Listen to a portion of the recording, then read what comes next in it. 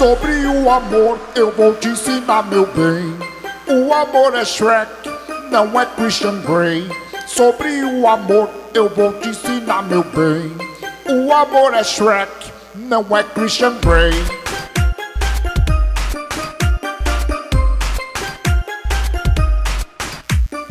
Vem pra lama comigo, serei o ogro marido.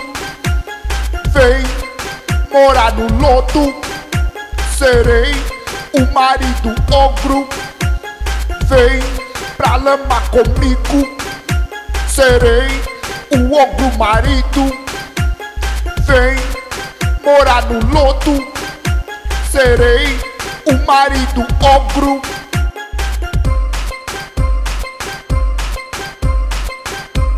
Sobre o amor eu vou te ensinar, meu bem. O amor é Shrek, não é Christian Grey. Sobre o amor eu vou te ensinar, meu bem.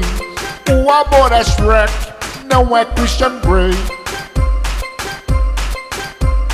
Mas se você quiser sodomizar, por favor, vê se me avisa pra eu pintar a lama do pântano com 50 tons de cinza. Mas se você quiser sodomizar, por favor, vê se me avisa pra eu pintar a lama do pântano com 50 tons de cinza.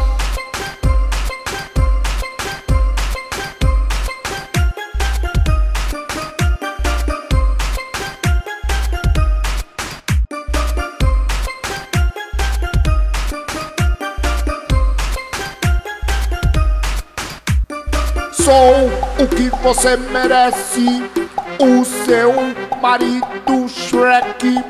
Pra você ser a minha dona, deve ser muito mais Fiona.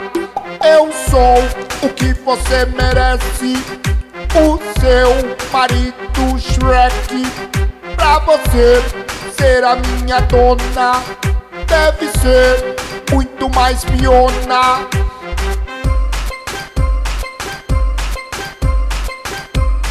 Sobre o amor eu vou te ensinar, meu bem. O amor é Shrek, não é Christian Grey. Sobre o amor eu vou te ensinar, meu bem.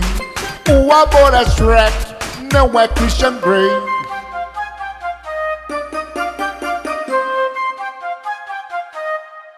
Em relação aqui a essa sua música, eu gosto muito do filme do Shrek, principalmente do 3 e do 4, porque hum, nós temos duas versões totalmente diferentes, né, da princesa Fiona, enquanto ogro. Não estou me referindo a ela enquanto pessoa humana, na, que vivia na realeza, com outros costumes e etc. No terceiro filme, ela se casa com o Shrek, tem seus filhos, e no quarto filme, ela é um pouco mais independente e ela mesma se salva do dragão e conquista sua liberdade. Inclusive nesse filme, se o Shrek não consegue se virar ali para resolver essa questão, ele sumiria da vida da Fiona, como se ele nunca tivesse existido. Isso é um ponto muito interessante.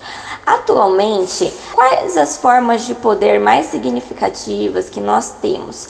Beleza, dinheiro, músculo e informação. Acredito que a princesa Fiona, ela representa a mulher lilitiana é, que não tem tanto nojo, que é mais parceira do marido e que é um pouco mais amiga. Ela desce do salto para estar à altura. Isso é muito relevante, né? Mas eu acredito que a gente não pode ser hipócrita e pensar que isso é o suficiente. Claro, esses valores são muito bem quistos numa relação. Só que o homem, e principalmente em relação aos impulsos do homem, ele vai continuar procurando mulheres que são belas, mulheres que têm músculo. Não estou falando aqui de que a pessoa tem que ser mais forte do que o homem, mas, por exemplo, uma mulher que é treinada, uma mulher que vai para academia, uma mulher que cuida da vaidade que ela tem nojo, sim, porque ela vai ligar para perfumes e aromas. E eu não estou entrando nem em questão de dinheiro e inteligência. Então, assim, Esse homem provavelmente procura mulheres assim. Ele quer estar casado talvez com uma Fiona, mas sexualmente falando, ele se atrai muito mais por uma pessoa bonita e que tem músculos. Aí entramos em outro ponto. Mulheres que têm o princesismo vão atrás do príncipe encantado, querem um Christian Grey cheio de dinheiro e não sei o que, não sei o que lá. Claro, geralmente essas mulheres são um pouco fúteis e elas não vão conseguir dominar um Christian Grey assim como elas dominam um Shrek.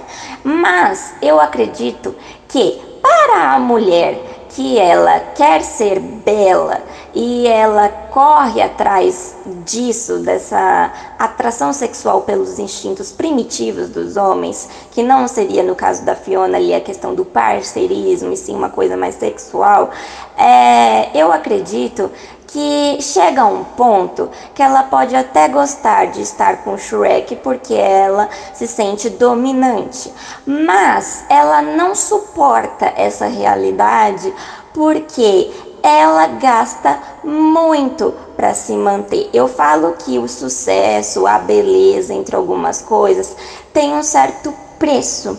É claro que biologicamente falando, é, as pessoas não têm muito o que fazer, mas com dinheiro, obviamente, você consegue resolver muitas coisas.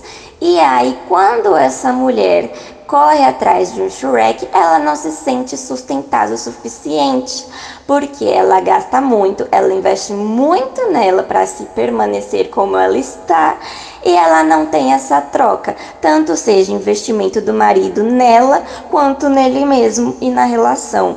Então esse parceirismo fica em segundo plano, entende? Não sei se eu consegui me explicar muito bem, mas é, eu acredito que o amor ele não é a como é que eu posso dizer o que permanece durante uma relação. Ele pode ser a base, com certeza, mas ele não sustenta a relação, entendeu? Então, mesmo que a mulher seja Fiona, não vai sustentar com amor, mesmo que a mulher seja uma pessoa linda, maravilhosa e que seja um pouco mais nojenta, não vai se sustentar com amor, porque nos dois casos isso daí não é o que sustenta. Pode ser a base, mas não se sustenta. Hoje em dia, o que sustenta um relacionamento é dinheiro.